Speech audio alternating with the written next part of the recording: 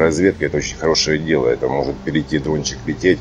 В каждом отделении он должен присутствовать в пехоте. И уже видеть впереди, куда мы идем, куда вести огонь, где размещается противник.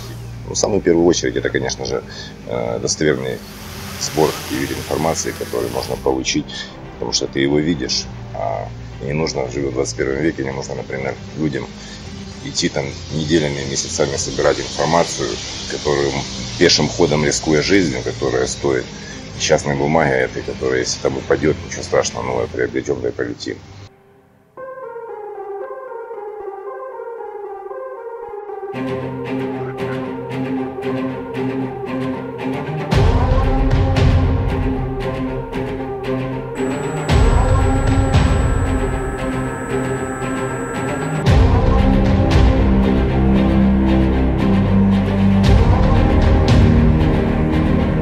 Чем может быть хорошая разведка? Это масса и корректировка артиллерии.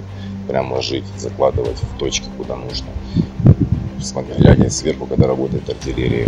Это для штурмовых операций, сбор разведданных, которые приносят потом успех при штурме, потому что знаешь, где находится, размещается противник. Наличие его техники, ну и тому подобное. Это развитие, которое нужно. Нужно развивать направление одно из самых, я считаю, успешных в 21 веке, тем более в войне.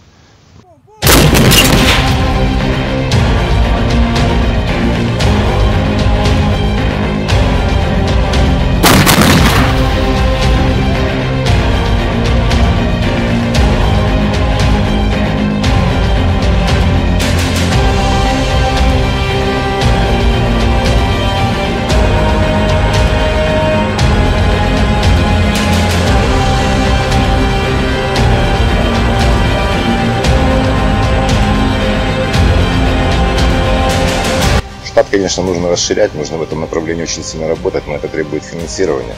И было бы неплохо, если бы наша страна финансировала это все. В этом подразделении все происходит как в обычном пехотном подразделении. Те же тренировки, физподготовки тоже, потому что есть пилоты, есть группа прикрытия пилотов. Это ну, абсолютно боевое нормальное подразделение. Да, моторика, рук должны работать хорошо развивать. Для этого есть специальные тренажеры, которыми тоже пилоты пользуются ну и, соответственно, желание воевать.